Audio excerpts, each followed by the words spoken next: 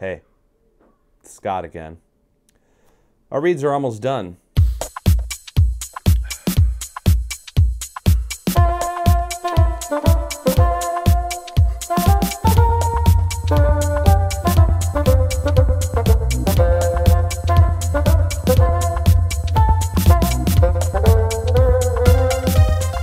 So I'm going to measure one and one eighth of an inch uh, from the very. Basically, I'm just resting my ruler on the the top of the first wire, and I'm going to mark it at one and one eighth.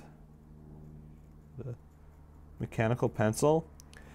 If you have issues with your reed knife and you have a tendency to chip, you don't have to do this extreme close up. It's going to be gross. If you have issues with your reed knife and you have a tendency to chip the edge of the reed, um, leave a little bit more on and trim the, the reed um, after you've done your initial scraping. Um, but if you're awesome like me and you don't chip your reeds, or if you're reckless like me and don't chip enough reeds to change, um, just start out right away by cutting it at one and one eighth of an inch. So I just want to let that soak for like a minute or so just so that the reed is, uh, you know, not not entirely dry. Because if it's dry and we put pressure on it with a blade, we're gonna we're gonna crack it.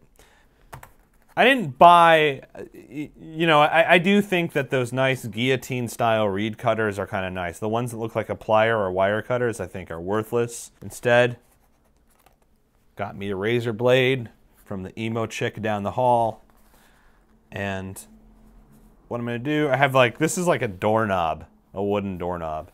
Um, one thing that I like about this Burden brand mandrel holder is that because it's not round, it doesn't roll. So I can set it up flat. I'm going to take my razor blade and I'm just going to sort of lay it on the reed first to make sure it looks completely straight. I'm to start at one side and I've cut the tip.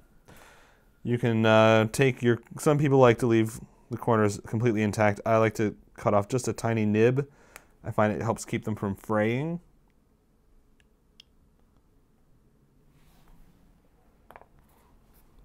Boom, we got that. We fold our, our wires down. I like to fold the first wire back, the second wire forward. And now we have a finished reed blank.